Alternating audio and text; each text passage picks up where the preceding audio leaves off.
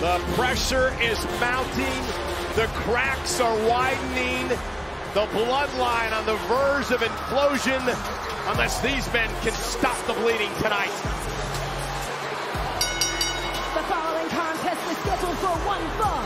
Introducing first, accompanied by one half of the undisputed WWE Tag Team Champions, Jimmy Uso. From Las Vegas, Nevada, weighing in at 250 pounds, Solo Sikoa!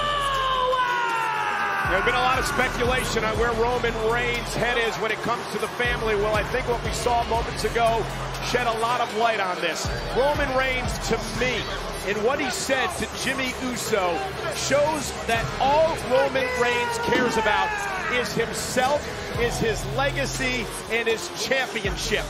The bloodline is all about doing Roman Reigns dirty deeds and fighting Roman Reigns battles. And he was clear when Jimmy Uso left the room that if Jey doesn't show up next week, Jimmy Uso is going to be blamed. The Bloodline is the most successful group in WWE history. Roman's job is to maintain that power and that success for everyone in the group. You can't let one bad apple fester and tear the unit down.